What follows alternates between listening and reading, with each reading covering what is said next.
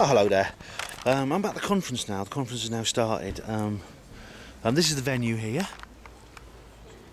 As you can see, it's uh, it's very smart and modern. Some of the delegates there. Um, this is actually um, like a, a lecture hall um, for the university. So it's like kind of um, it's all very modern in there. So it was very very much like uh, Leeds, the Exopol. I've got a quick 20 minute break now. The first session is over. They've got a lot more speakers in, but they, they're on for shorter periods of time. So I don't know how much you can see because it's raining. I I'm going to try and get into the shelter a little bit. Um, so um, this is this is the car park here at the university. It's Bath. Right, let's try it. Um, well, basically, um, they've just the um, the conference has just opened, and um, it began with a, a, speech by the president, who was Lionel Fanthorpe. Now, I've spoken about um, Reverend Lionel Fanthorpe before because he, um, I, bought, I bought an interview, a DVD of an interview with him, with Ross Hemsworth at the Probe conference last year. I don't know if you remember that video that I did then. So I'm going to have to keep wiping this lens. I'm rolling, and I. Um, he he opened the conference and he paid tribute to the past presidents, and then another lady who came on called Val Hope. That is, and um, there's and who gave us a brief history of the organisation of ASSAP, and I realise here that I'm sort of quite a latecomer. In fact, you know, I'm a newcomer to something which has a very, very long and detailed history. It's like when you first join ATS or something, you know, the forum and you, the people, you know, but everyone seems to know what's going on except you. It's, it's that kind of thing.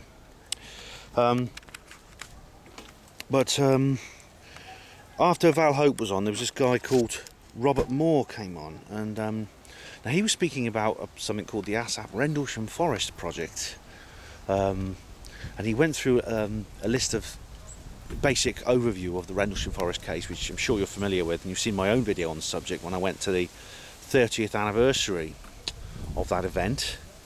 Um, now he spoke about um, basically the the organisation is trying to um, get together with uh, all the all the witnesses and everything like that. The rain's easing up now, and try and um, put together a, a basic um, assessment of all of, of, the evidence involved, you know, and um, of course, uh, because he, he calls it a very complicated case, there's a lot of contradictory evidence, um, and he says he can't promise they're going to find a conclusion at the end of it. But uh, he, he mentions the testimony of the, of the airman who saw the craft. He also goes through the skeptics' uh, explanations of um, the lighthouse and the burning manure and the Apollo command module and things like that. Which I, I'm sorry, I have to laugh whenever I say these things. my, you know, um, you're all aware of my. I'm sure you're all aware of my views on that subject. Um, right, and after that person was someone called probably the best speaker of this session, CJ Romer. Now, um, that's a name I've heard before. I've not actually heard, met the guy, or read anything about him. I just recognise the name. So I'm going to go around the side of the theatre here. This is our theatre. I'll try and film inside later if I can. I'm not sure whether the form is that you're allowed to or not. Anyway, CJ Romer. CJ Romer did a speech called Why Everything We Think About Seeing Ghosts May Be Wrong. So that sounds like a title of some Woody Allen film. Uh, it's actually he goes through actually a lot of things that I've actually worked out for myself, like um, you know, like uh, ghosts. There's myths like ghosts are always of dead people. Um, ghosts are only seen at night. Ghosts are only seen in old buildings. These things are not true. Um, get turning my note page over. Um, ghosts are very often seen in new buildings, as much as they are seen in old buildings. Um, ghosts, um, uh, they're quite likely, the, the, most common place you like to see a ghost is in your own home, actually, just indoors. And says, you know, don't bother going out, just stay at home. um, 36% of reported ghosts happen in daylight, and I've said this myself. Um, and uh, another thing is, ghosts are not always dead people. Now that is odd, isn't it? That's a big myth. Um, in fact, a lot of ghosts that are seen are actually of living people. Um, then um, there's one that's known as doppelganger. That's when you see you see you see somebody who looks exactly like you, like a mirror image. Now, um, someone's actually seen a ghost that looks like me. um, one of my extremely proud and dignified brother porters, or ex-porters now.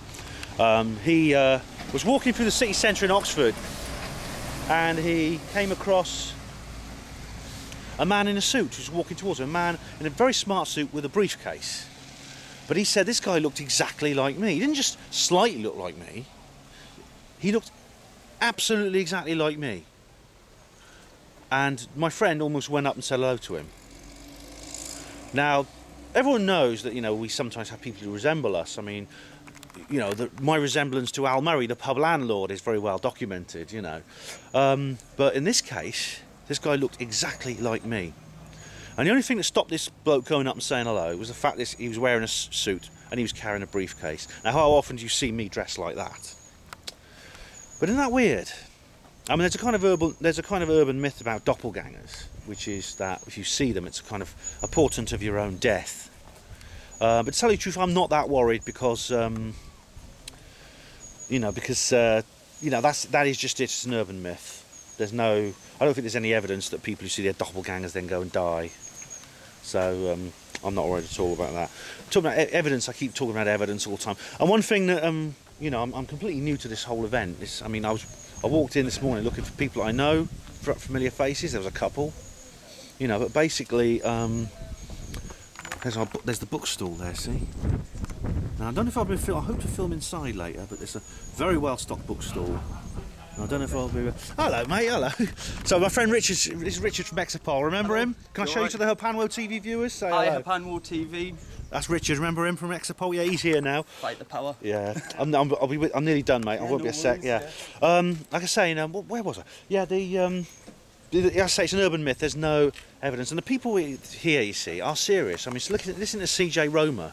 I mean, he could be if he was talking about another subject like uh, physics or chemistry or cosmology. He would be an, a completely normal scientist. He talked exactly like a normal scientist, like Stephen Hawking or someone else like that, except he was talking about ghosts. He, he showed us graphs collecting statistics of, of ages and sexes and genders and, and walks of life and people who have these experiences, where they're collected. This is where he got all this data from. He, this is these people are serious. They're not loonies. They're not they're not nut jobs with long hair and beads, the way James Randi and people like that like to portray us.